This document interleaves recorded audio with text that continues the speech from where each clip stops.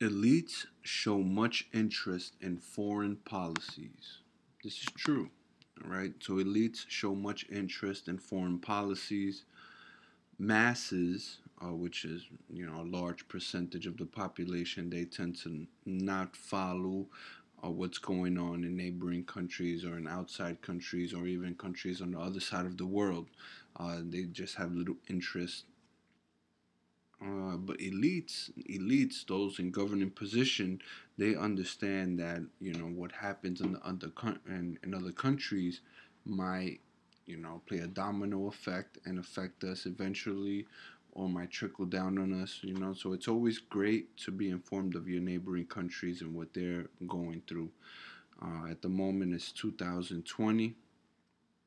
Uh, we're going through what's known as a pandemia and what originated on the eastern hemisphere has now trickled down to the uh, trickled or made its way to the western hemisphere uh, where you have this you know this virus going around that's uh, clogging up people's lungs and making it hard for them to breathe and it's you know at this point untreatable you know? Uh, there's some form of treatment to it but it's uncurable you know, there's there's no 100% absolute vaccination at this moment. Today is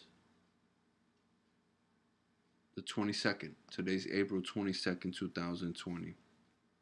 All right. Uh, so elites do show much interest in foreign policies. They understand uh, international relations are always important. Okay. Masses have little interest in foreign policies. They kind of only, you know, know or try to become involved once there's a threat to the homeland.